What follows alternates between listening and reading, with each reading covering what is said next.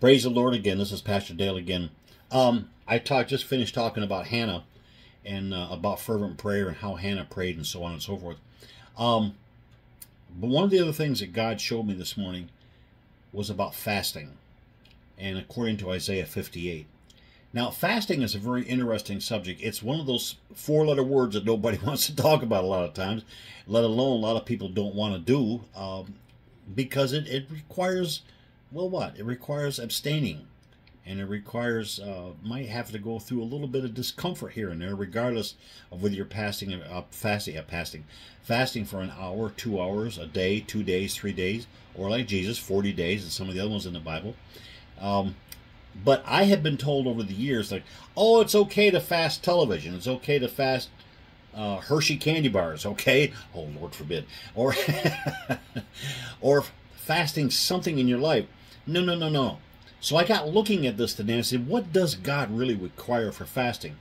And this is interesting that when you look in the Bible and you look in the original Hebrew language, Hebrew Chaldean language, you're going to find out that it means to abstain from food, period.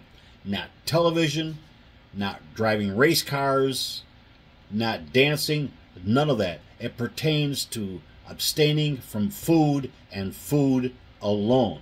Okay? In fact, it comes from the Hebrew word, I believe it's called tum, okay, or tazum. And yeah, right here, it's it's it's um, actually in our language it'd be tasum. So, but the definition is very clear. It just means to abstain from food. Period. It means actually it means to cover the mouth. Okay, you got food coming out, cover the mouth. You don't you don't take the food in. And that's what fasting really is. Fasting is not giving up television. That's when you do what, what you do in Lent. I mean, a lot of people in Lent will, um, who celebrate Lent, and, and I guess it's okay. It's a man-made religion. It's not a it's not a, um, a biblical uh, uh, directive. There's nothing in the Bible about Lent at all. It's something that uh, some some individuals have made up. Praise God. I guess it's a good practice. But during Lent, they'll give up something. You know, maybe they'll give up sweets. Maybe they'll give up coffee. God forbid. Uh, or maybe they'll give up drinking soft drinks, or, or, as I said earlier, watching television. But when it comes to actual fasting, fasting is abstaining from food. Now, I know I'm going to hear a couple of guys, somebody's going to write me and say, oh, that's not really true. We can give up what we want during a fast. Well, if you read Isaiah 58 carefully, and then you look at the other um, things in the Bible about fasting, you're going to see that they didn't give up anything but food. That's what they gave up. They gave up eating. They covered their mouth. They would not take anything in. That is true fasting. And the beauty about fasting is is that when when you fast, man, I'm telling you what, there's a lot of good that'll come about from fasting. And um, somebody asked me, what's the reason for fasting? Well, if I was to look at Isaiah 58 and the, and the last half of uh, last part of verse 4, um, I believe it's it's it's so that God will hear our voice. Our voice will be heard on high. Okay, that's just one of them. Uh, and in there he says it's to what? It's to loosen bonds of wickedness. It's to undo the bands of yokes. It's to let the oppressed go free because oppressed go free, and it's to break yokes. Okay, I think there's um, a scripture in Isaiah. I'm not sure exactly where it is it says the anointing to become so anointed that it destroys and breaks the yoke. And and I believe that when we fast, if we fast properly, that that could happen.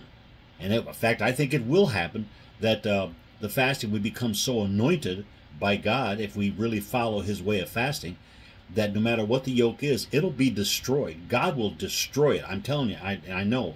Next, um, we are to share our bread with the hungry. Um, maybe it's going, you're, you're, you're doing a drive through.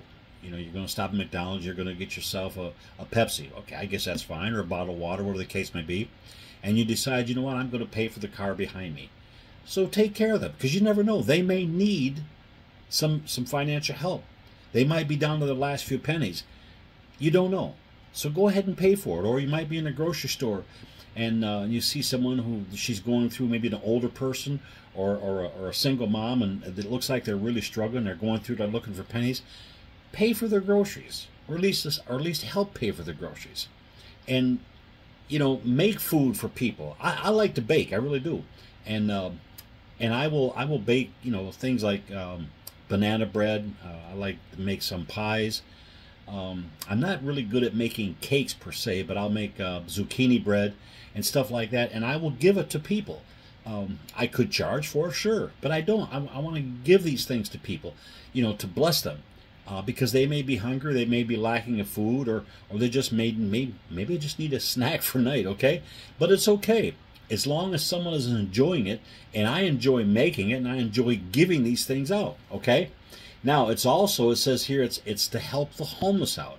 Listen, our our nation is full of homeless. I I sometimes wonder about this nation because we're so concerned about um, the illegal aliens coming into this nation and, Ill, and aliens coming in, filling up hotels, and they're spending all this money. When we have so many homeless people, we have so many homeless veterans who need to help, and our government just isn't treating them the way that they're treating these other people. And it sometimes that disturbs me a lot. Um, being a veteran, I mean, it really disturbs me a lot when I see a veteran, know a veteran, that I know who is a real veteran. I don't really uh, put much uh, faith into these people that are standing in the middle of the road saying, uh, "Please help me. I'm a homeless veteran. I haven't eaten in a couple days." I, well, you got to show me, or you got to you got to prove to me that you're a veteran. Okay, um, I mean that's just me. I, I I don't. Once in a while, if God leads me to it, I will assist them and, and give them something. But I'm talking about going out to where the where the homeless are. Um, and and looking for the homeless and looking for those and help those people out. Um, there might be people in need of clothing. Buy them some clothing. Give them some clothing way that you have in your home that you're not using anymore. And then, of course, that's also the other thing that we should, we're supposed to do when we're fasting is make ourselves available to our family. Okay, keep in contact with the family, call them, love them, and so on and so forth. And these are the things that I'm finding that we should do in fasting. And then, if you get through verses eight through eleven, you'll find out a lot of great things happen because we fast. One is it says our light will break out like a dawn. Our recovery and healing will speedily come forth. Did you know that there are some hospitals up in Canada? I read a, a report once where a heart surgeon, a heart doctor, a surgeon, you know, cardio surgeon, um, when his patients, after he did cardio uh, surgery on them, he would actually have them fast. He wouldn't allow them to have any food.